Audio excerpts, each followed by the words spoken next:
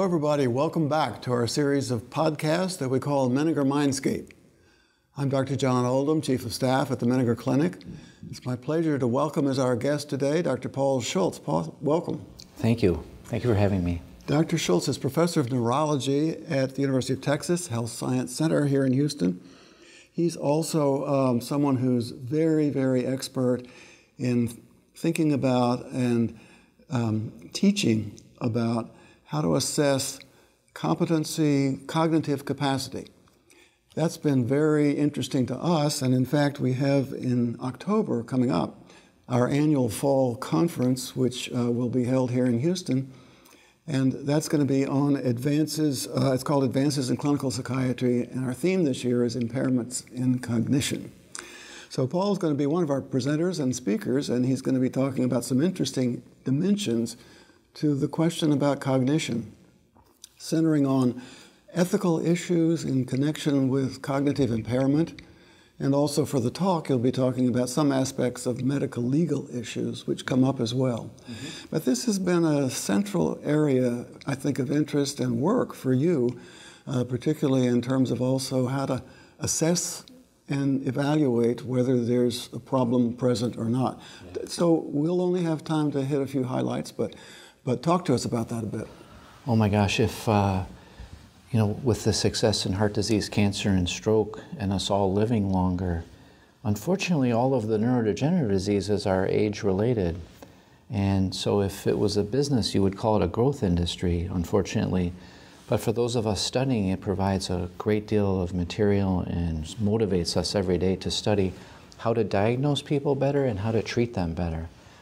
We're working on quite a few different ways of diagnosing neurodegenerative diseases better with blood tests, imaging, and so forth, and working on treating them with all kinds of innovative ways of lowering amyloid, lowering other abnormal proteins in the body.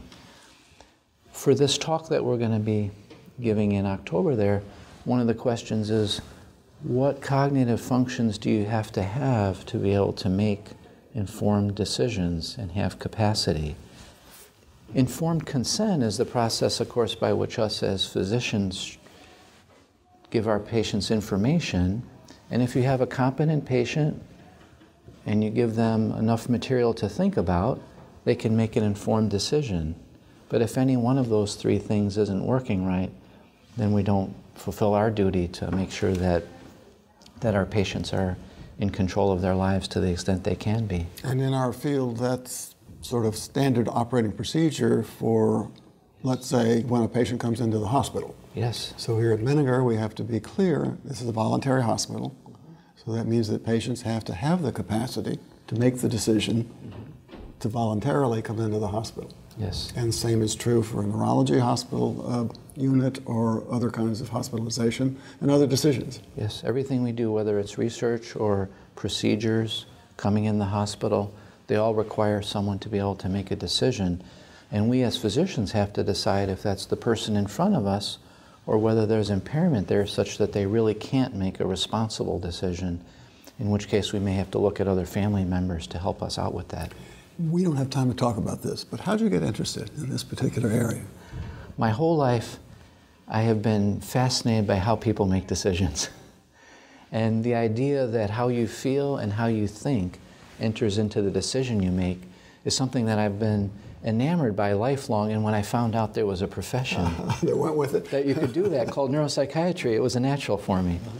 I'm still fascinated every day in clinic when I'm sitting with someone asking them questions to see what they're going to say and how they're going to respond and how I can use what's working well or not well to figure out what's going on with them. Is it early onset Alzheimer's, is it bipolar disease, et cetera?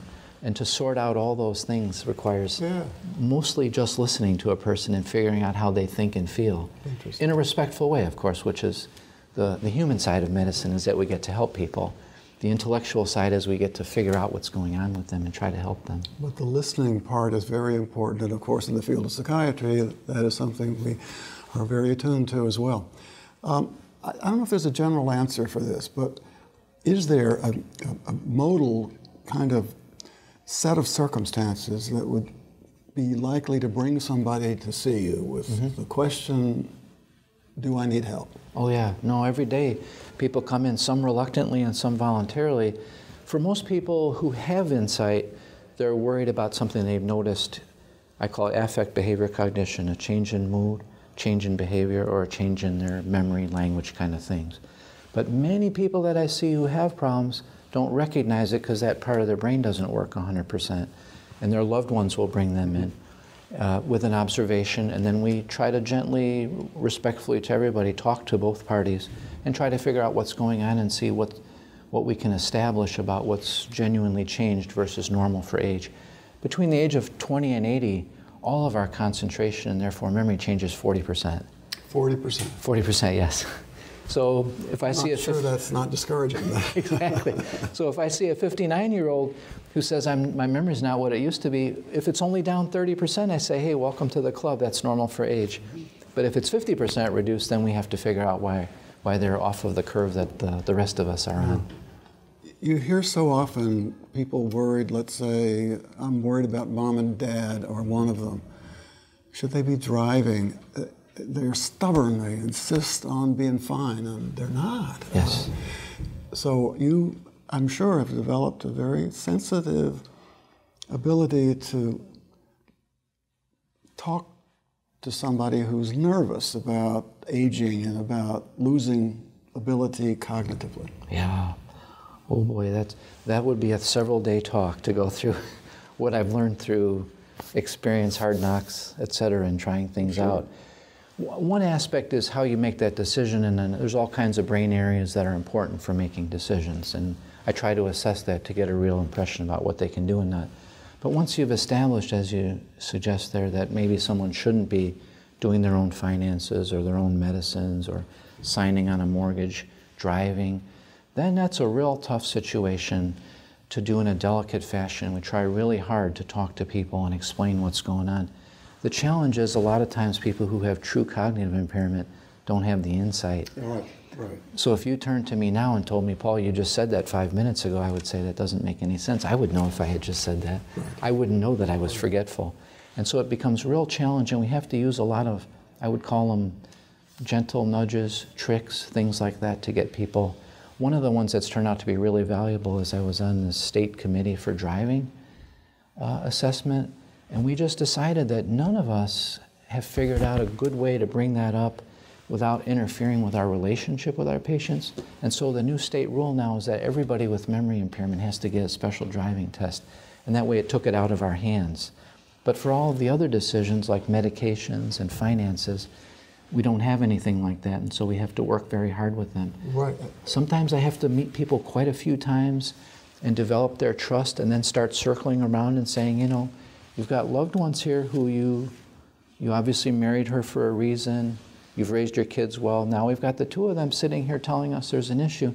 I know it's not possible to see that just like if my partner here told me I was forgetful, I wouldn't be able to see that.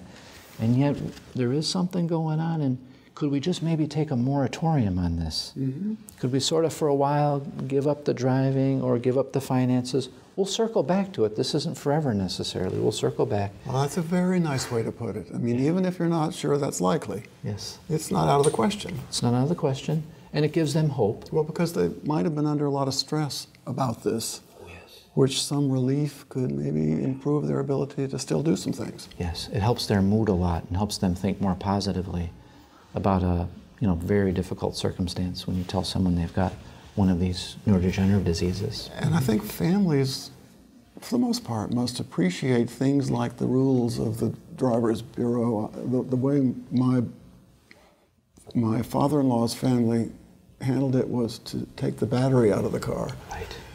That didn't go over too well. Yeah, yeah. We used to always take the keys, take the battery, whatever. Smart guys would figure out how to get in there or get angry.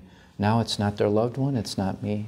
It's the state of Texas who makes decisions like that. And I say, you know what? You may well pass the test. Go ahead and take it. I mean, you want to drive, take it, and God willing, you'll pass it and you'll keep driving. But if you don't pass it, thank goodness you and I will know that it's not a good idea to be driving, and then it won't be safe for you, and you certainly don't want to be in an accident and so forth. Now, I'm going to ask. We're going to run out of time. We always run out of time. So I'm going to ask you an unfair question. because it's unfair since the answer would take a lot of time. Sure. but all over the news is concern about Alzheimer's disease. Mm-hmm. It's got to start somewhere. Yeah. So many of these people worrying mm-hmm. probably have that in their mind that this could be something terrible down mm-hmm. the road.